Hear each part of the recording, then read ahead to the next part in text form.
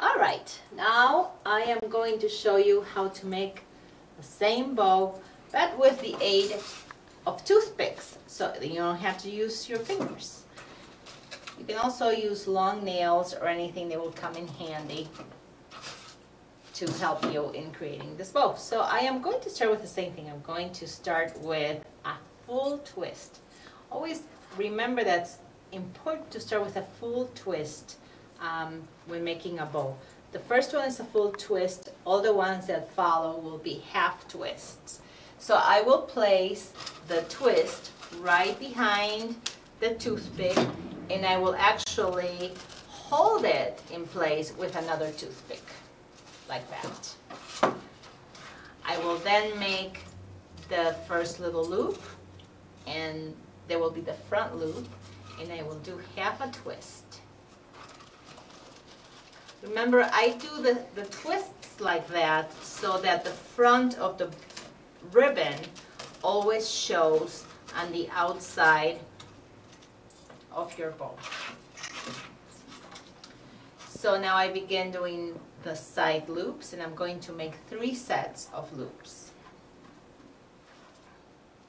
Half a twist, put behind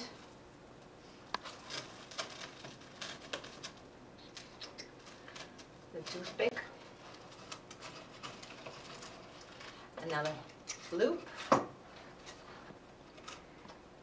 half a twist,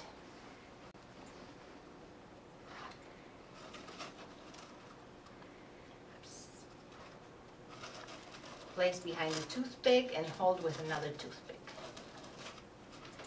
Now you can really make these bows as big as you want or as small as you want with many loops as you want. I'm going to make this particular bow with the center loop a little bit bigger than the uh, front and back loops. A little bit longer.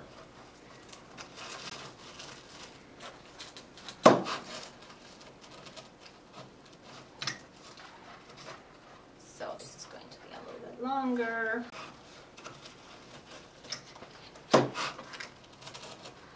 And once again, I'm going to do the last loop now. Half a twist. Place a toothpick.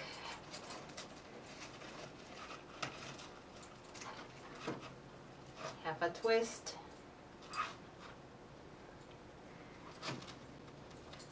And place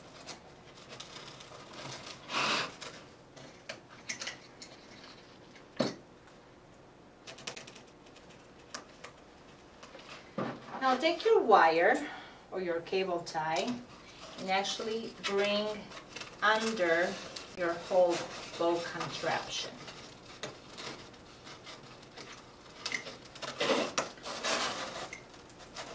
Pull over. At this point, you can already pull the, the bow out and tighten the ribbon or the cable tie. It's really important to have it very tight. Like cable ties are easier to work with. Ribbons, of course, are fine. Uh, ribbons, I'm sorry. Um, wires are fine, but cable ties are very easy to handle.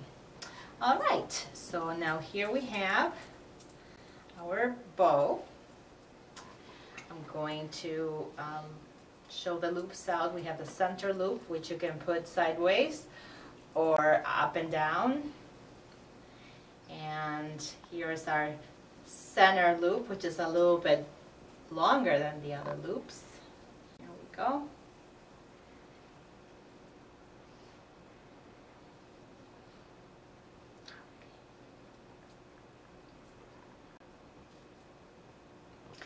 The nice thing about wired ribbon, the ribbon I like to use, is that uh, it fluffs up really nicely and even if you have your bows for Christmas stored, you can always fluff them up the next year.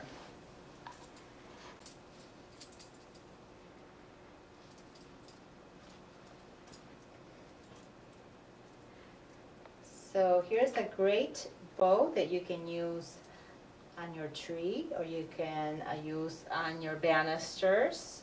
Um, You can use on your wreath or on your teardrop swag to wrap presents, many, many uses for them. And um, really easy to make. And after you get some practice, really easy to make. Thank you for watching and this is Dana with Flowers by Design.